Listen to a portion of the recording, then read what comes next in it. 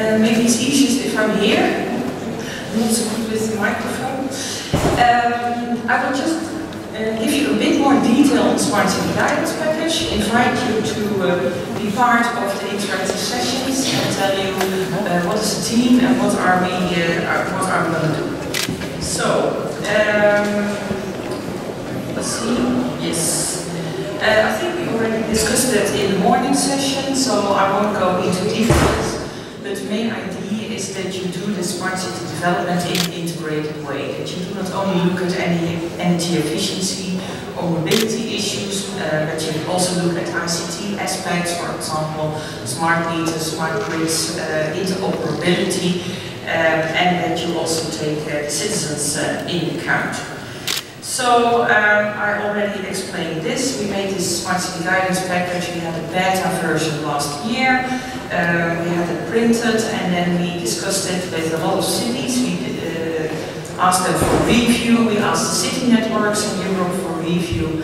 And um, we have taken that into account and uh, developed um, this roadmap a bit further. So we got help from many people, uh, city representatives, but also consultants, uh, businesses, solution providers, and uh, we did a lot of uh, desk research, uh, workshops, and uh, interviews. Um, yeah, before I forget, and interesting was also to see that um, it's not only the, the best practices, you hear very often, oh, we just have to collect to harvest the best practices and share that information but it's also very important to talk about failures. Only the problem was that if you talk about failures, people only want to talk with you under a condition of anonymity, because nobody wants to uh, to say that this this did not uh, succeed in the project. So uh, we had to promise people that we would use this information confidential, and we are also in that way bound by very strict uh, GDPR rules uh, that uh, in Norway are applicable to research. So here you see our target audience. So we, as said, we mainly focus on citizens, sorry, cities and their citizens, but also um, on other, the wider area, the, the, the key stakeholders for the cities. So we make a distinction between the political level, you see several categories here, uh, they can use the guidance package to orient themselves a bit, but uh, mainly we're focusing on uh, advisors, staff, practitioners, etc., who are um, who really need to set up a plan or make this strategy and have it populated with good actions. So, um, but we also uh, saw that the guidance package could also help to have discussions, for example, with the transport operator or with the energy uh, provider. So uh, we thought we try to uh, include uh, these as well in, uh, in the group of, of the audience. also research and innovation partners, a lot of people here are from university. We play a really important role in any of those processes because you can be an important catalyst, you can bring in a, a European or Bulgarian projects that, that contain the seeds of innovation uh, in future. So, um, but you are also a trusted partner for the city. So uh, uh, there's a lot of things uh, to do for the universities in this collaboration and it can be very, very successful. What you see in the wider city landscape that uh, a lot of the successful smart cities with the, the lighthouse projects, uh, like the one that uh, Georgi explained, uh, they have a technical university behind them or a research and technology institute that has uh, helped them with drafting the proposal.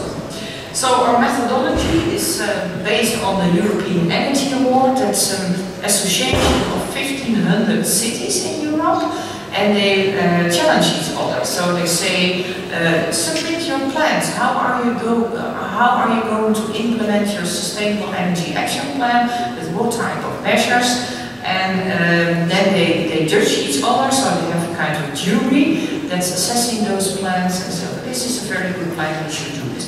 So we basically took this approach, but we widened it a bit further, of course. Also included urban, including urban platforms mobility and uh, other aspects of a smart city, so not only refurbishment. So in the end we ended in this uh, the roadmap. The roadmap has uh, seven stages. So you, you, go from vision development, uh, then you have a stage where you are going to decide, are we, is, do we think this is a good plan uh, or a good idea? It's still an idea at that stage. Uh, what should we do? What, what does it ask? Is it very expensive? How can we take it further? And what resources does that ask for? Then you do the actual planning, so you are uh, making a selection of, of good solutions, good methods, good technologies. You implement the plan, and then you have a phase where you check if it's going as you intended to, to do it, and uh, make amendments to the plan, make changes if it's needed, and in the end, if it has been successful, uh, to do scale or replication. Uh, the last phase is very important in Europe for the Lighthouse projects because the European Commission uh, has no uh, capacity uh, financially to to, fi to finance the transformation in all all European cities. So they see it mainly as a kind of seed money where you have good demonstrations demonstrations and that other cities like Sofia in the Smarter Together project uh, learn from that, uh, actively participate in that, and then take over Gigaton and uh, uh, try to do these, apply these demonstrated solutions in their own city. So that's basically the idea of the Smart City Lighthouse project. So per phase we have made a kind of scheme that's comparable for all phases but not with the same items every time. And what we have tried to do is to try uh, to try to make a kind of let's say an integrated approach, but also a kind of structure that if this structure would be filled in by a city and its stakeholders, its, its allies, uh, that that would result in a good integrated plan. So how is it built? And it's basically the same structure everywhere, so I'm not going to explain them all we better spend the time on, on working because I'm really curious to hear about your ideas. So we start with kind of basic question. What is the main goal of this stage? And for example, for the vision, the main goal is where do you want to see the city in future? Uh, then you see uh, below also the output. That's mainly about uh, what do we expect, what should come out of this phase. And here, uh, that's in particular the priority in your long-term objectives. Um, and where you want to go as a city, uh, lay down in vision. Then you see a couple of steps in the middle. We have called them items, but it are usually steps. It does not mean that you have to, to do them in this particular order, but if you do them in this particular order, they are kind of logical. And to the left you see tools, the things you uh, that can help you to do this. For example, uh, uh, SWOT analysis or World Café method or, or making joint mind map can all be very useful uh, tools during this uh, stage. And to the right you see the standards uh, that can help you to do this because has already been mentioned. This morning a couple of times uh, to prevent reinventing the wheel and also develop this market further, it's very important that standards are developed. And there are standards of course for a lot of appliances um, and uh, but there are also standards for the process. Uh, so the standard that Georgi was uh, referring to in the previous presentation is a standard for process to go to energy efficient buildings when you have a lot of owners. So, um, uh, so the standards work in, in two uh, directions. So here you have a couple of items. Um, we have all prepared a booklet that's on the tables. Uh, you just can use it as a resource. So what we are going to ask you is for these stages in your group. Um, we have printed them out, but we have made them empty. Uh, to put post-its on it give your ideas, what should the city do? And the city is not only the city administration, but it's also the university partners, it's also the companies, it's also the citizens and the, and the solution providers. So this is a broad range. Uh, so what do you think should be done at this stage?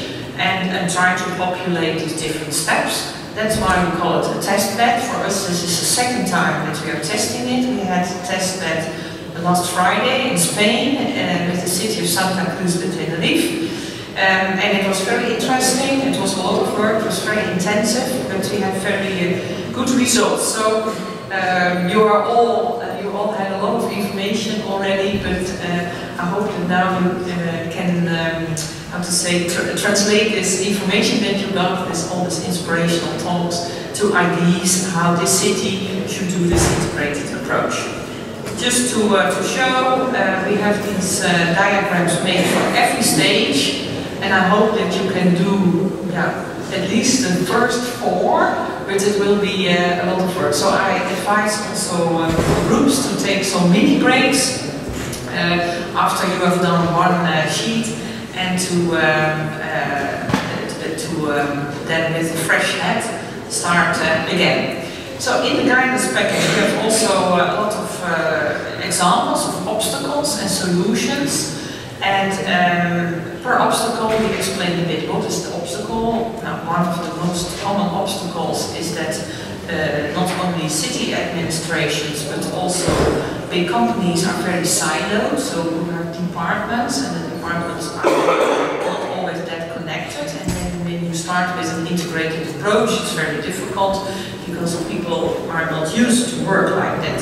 So in, uh, in this obstacle, or barrier, we explain a bit why it's a problem, and then we uh, provide some solutions uh, how, you could solve this issue. In the next version, um, these solutions will be uh, also with uh, examples. For example, here it's still text, but in the next version it will be people explaining about their particular examples. Here, for example, uh, how to deal with citizen engagement and also be compliant with GDPR rules. We have text about that, how can you do that, how should you, as a city or maybe as a transport company, take responsibility for that if you're going to work with apps. And um, so all this type of information is there. So, how are we going to do it? Um, we have four groups. You have all been allocated to a group based on your um, uh, background. So we have a group on smart mobility, a group on energy efficient and smart buildings, that led by Georgi Georgiev. Uh, Chivka Nikolova will lead the group there on uh, smart mobility. We have one group uh, working on City as an ICT platform that will be moderated by Milena Oleva. And I will moderate the group that's there in the middle uh, on environment and spatial planning. So what are we going to do? We sit there, uh, we appoint a reporter and a writer, uh, we fill in the steps as far as we come uh, by using sticky notes, you know, post-its that we, we take some time to describe the idea and put it where we think it belongs. Um, and if you have other ideas, put them on the flip chart, put them on the web.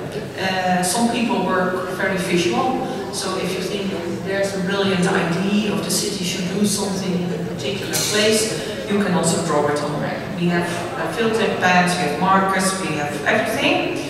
And um, yeah, I would like to ask you to be compact in your communication. Uh, maybe we have not always been the good examples on that this morning, but nevertheless there's not that much time. So uh, try to be brief and to the point and, and have discussion with each other how you think as uh, the city of Sofia should work on this uh, integrated plan and use the smart city guidance package. We have one copy per table and the energy roadmap that Georgi uh, uh, explained just um, for Sofia. Uh, you have it as resources on the table. So what will come out of it?